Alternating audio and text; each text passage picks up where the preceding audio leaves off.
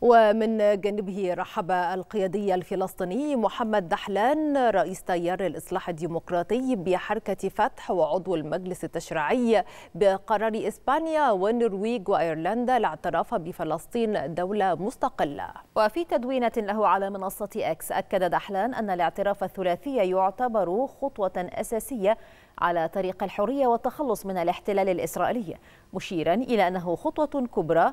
وأبدى أمله في أن تنضم إليها كل دول الاتحاد الأوروبي ودول العالم التي لم تعترف بالدولة الفلسطينية بعد